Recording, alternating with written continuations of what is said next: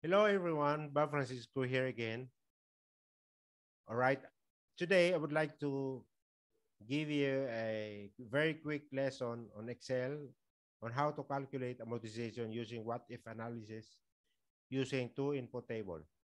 Okay, this is about calculating the mortgage, uh, I mean the payment per month with having a loan amount of 1.5 million with interest of 12% per annum number of years to pay is five years. So we're gonna calculate this one by starting with equal sign, negative payment. Why negative? Because we're deducting this payment amount from the 1.5 million with a certain interest rate. Okay.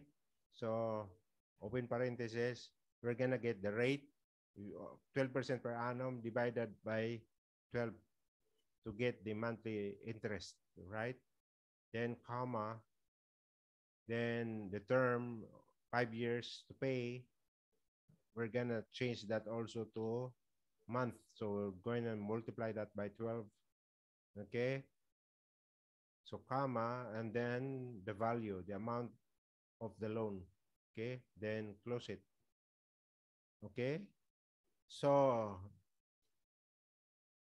in this scenario, the 1.5 million uh, loan with 12% per annum interest and five years to pay, we'll be paying 33,367 per month. That would be our amortization.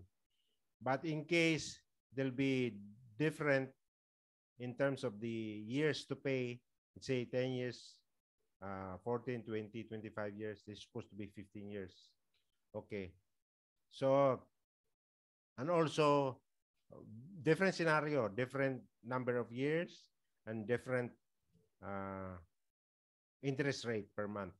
So that's why we're doing the what if analysis. What if we're paying it in 10 years? What, what if we're paying that amount with a 3% interest, something like that.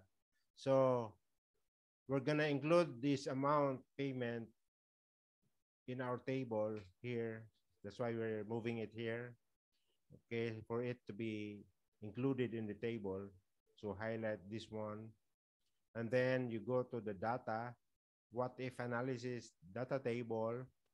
We're gonna be using two input table, one row input and one column input. So in the row input, we're gonna be inputting the the years to pay. So we're gonna get it from here, the five years and then go to the column input cell. We're going to be inputting the interest rate, 12%, okay?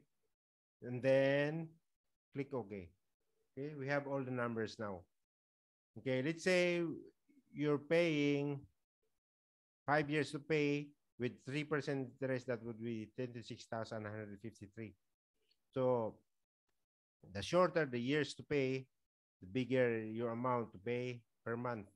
The longer the term, the smaller amount will be. Like, for example, in the, say, for example, 4%, 27,625, uh, five years to pay. But if you're going to pay 25 years, that would be 7,000 only, 7,918 comparing to 27,625, five years to pay. So some some uh, clients of the bank will go for long term. Some clients are going for a short term. So let's say, for example, we change this to 12 years. Okay, the numbers also changes, right? Okay, let's say we're gonna pay this in 18 years term. Okay, the numbers will, will also change. Okay, so even if you make changes here, the amount will also be changing. Like, for example, you want to change this to 5%. So the amount changes as well, okay? So that's how you do your data inputting two input cell, two input table, okay? Calculating the amortization. So this would be your payment, different scenario, uh, monthly payment. So using the what if analysis, two input table, okay? That's it for now. Thank you for watching.